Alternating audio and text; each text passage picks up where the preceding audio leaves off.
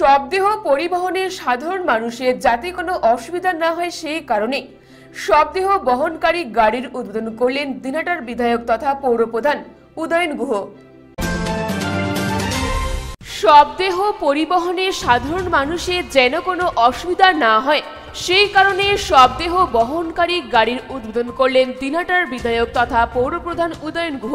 তিনি বলেন, এই গাড়িটি দীর্ঘদিন থেকে দিনহাটার রেড ক্রস সোসাইটির আওতাধীন ছিল। রক্ষণাবেক্ষণের অভাব ও ব্যবহার না হওয়ার কারণে গাড়িটি পড়ে পড়ে নষ্ট হচ্ছিল।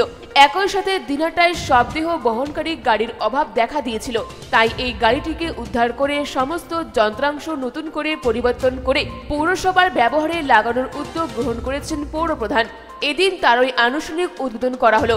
উদয়ন গুহ জানান, ন্যূনতম খরচে দিনহাটার শহরে থাকা সমস্ত মানুষ এই শবদেহ বহনকারী গাড়িটি ব্যবহার করতে পারবেন।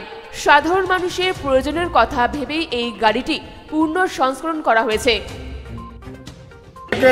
ইতিহাস আছে। এই সববাহী গাড়িটা ছিল হচ্ছে দিনাটা রেড ক্রস সোসাইটি ও রেড ক্রস সোসাইটি দিনাটায় প্রায় উঠে গেছে। এবং ওরা পরিকাঠামোগত সমস্যার জন্য গাড়িটাকে ব্যবহারও করতে পারেনি, চালাতে পারেনি। গাড়িটা ওখানে পড়ে পড়ে নষ্ট হচ্ছিল। আমিও ওই রেড ক্রস সোসাইটির সদস্য।